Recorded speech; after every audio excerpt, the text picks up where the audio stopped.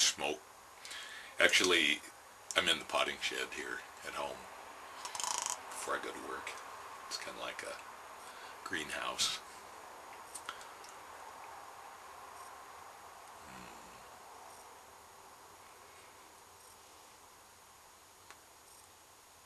That's what summer's about.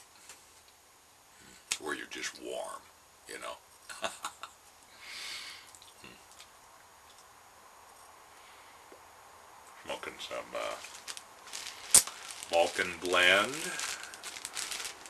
from a fellow YouTuber, Jon. Thank you very much.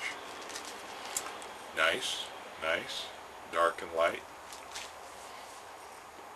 Very smooth.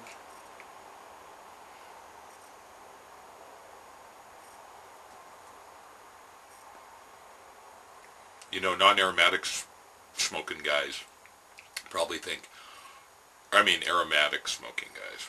That's what I'm thinking.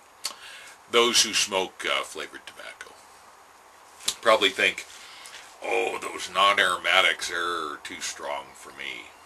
Yeah, I, I wouldn't like that. I'll tell you what, these Balkan blends are just like mellow and yet full of flavor. Unlike the aromatics to me. Each their own. Oh, I'll smoke an aromatic occasionally. If I'm sitting around the campfire with other people or, you know, something like that, in a crowd, inevitably you get the comment, oh, I remember my grandpa smoked a pipe and I always loved it. I hate cigarettes, but I, I sure do like pipe smoke. So, so there's smoking for yourself and there's smoking for the crowd.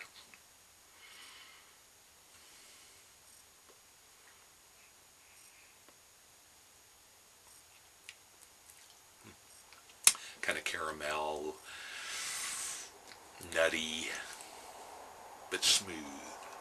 It's smooth. Yeah, nice. Very nice. Kind of like uh, my standby Peter Stokkebye uh, Balkan Supreme, but like a little down a notch, kind of. It's very nice. In a jum, of course. Just kind of in a jum kind of mood. I just got back from a week working a wildland fire over by Wenatchee, between Wenatchee and Ellensburg. Took a couple pipes. Didn't smoke once.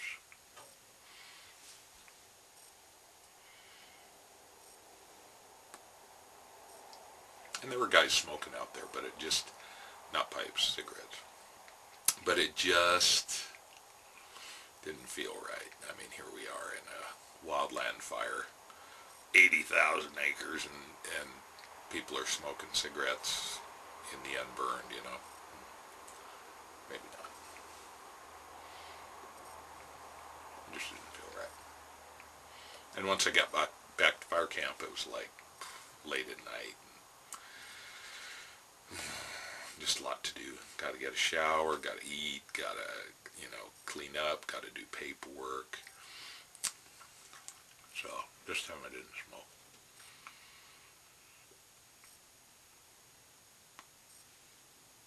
I didn't really see a smoking area either. We we were fire camped at uh, a school, both in Wenatchee and in Kittitas, and uh, of course there's no smoking on school grounds.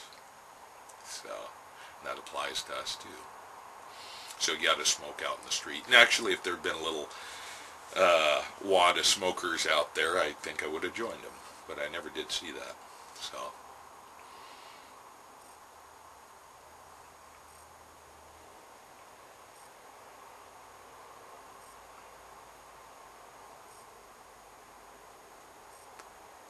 Yeah, it's real nice. Um, so I, ha I haven't smoked for a week. And then I didn't smoke for almost a week before that. It wasn't for smoking here with you guys, I probably wouldn't hardly smoke at all.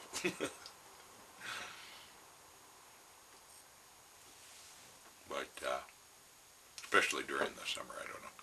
Winter, it's kind of nice. You know, you got your little fire right there in your hand, and there's something real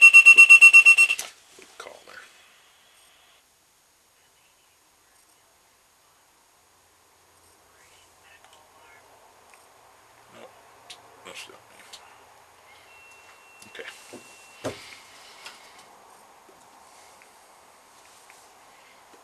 So, I was just thinking, you know, why do you, why do you go on these wildland fires? You know, there is risk. You kind of put yourself in some danger. Most of the danger is driving to and from the fire in a 55,000 pound truck with all the other crazy folks on the highways.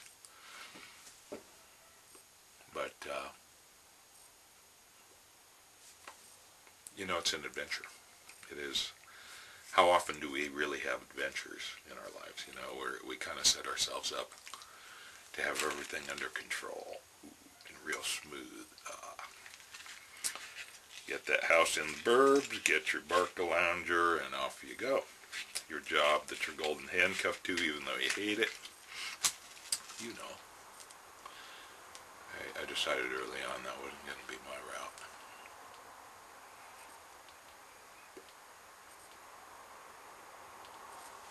So these fires are a way of having an adventure. I mean, fire camp, that is, I imagine, about the closest thing in existence to a 1900 era logging camp. And there's, there's just this great sense of camaraderie there where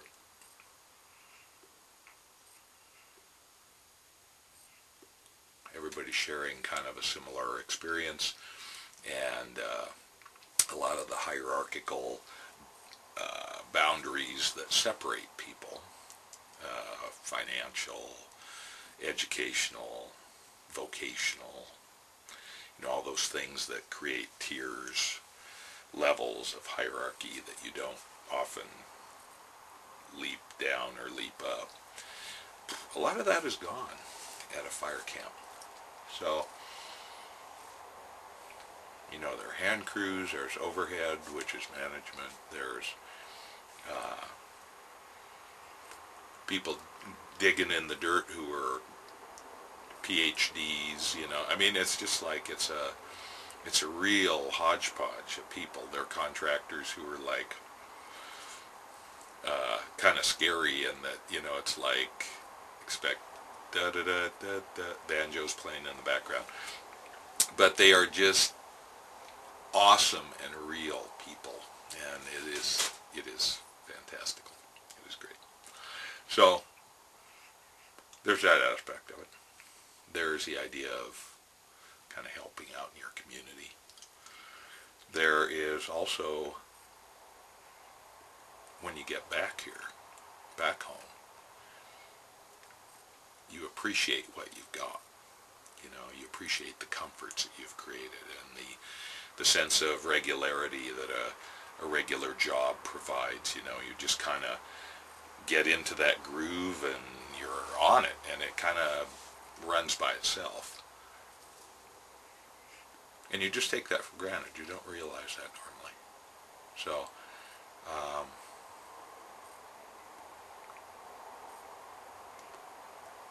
doing these things, having these adventures is a way to appreciate what you already have.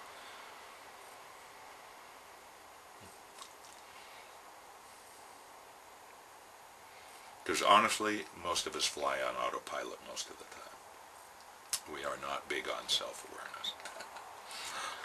so, kicking yourself out of your routine, uh, or whatever reason, a camping trip, uh, you know, doing a little world travel, um, working a wildland fire. Uh, you know, it, it just removes you from your everyday routine, and that is very useful. So, it's a good thing. I don't do it for the money. I, in fact, I lose money when I go on these things. They, they don't pay very well.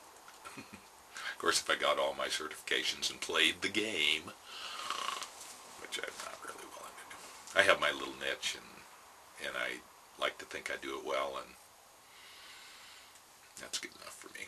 I don't need to be ever rising into management.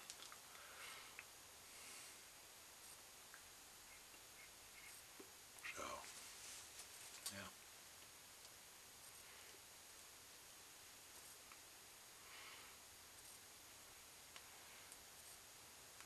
This is good stuff. I'll uh, list it out in the written description for this. Sorry about the poor quality there. I, I uh, normally I keep uh, my little dinky point and shoot camera with me. It survived India, it survived Sri Lanka in my pocket. Well, I was wearing a t-shirt that didn't have a pocket on the way back. And so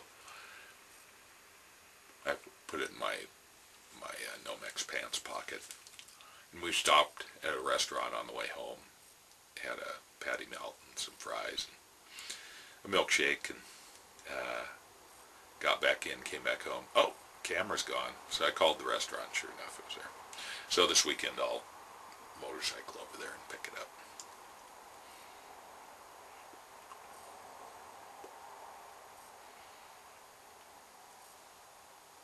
But that's my one camera that does pseudo HD 720 video. This one is like way sub HD. Sorry about that. Great camera otherwise. A Sigma DP1. But uh,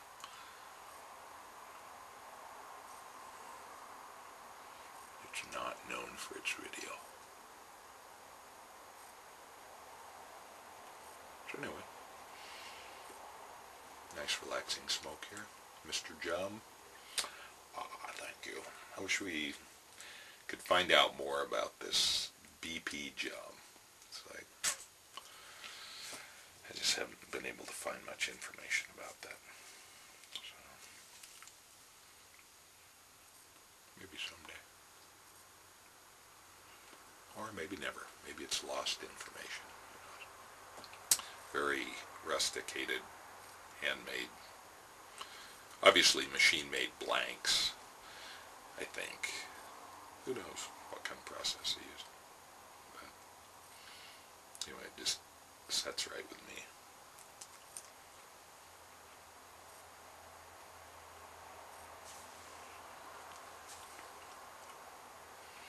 Gotta get to work here. Enjoy your summer days.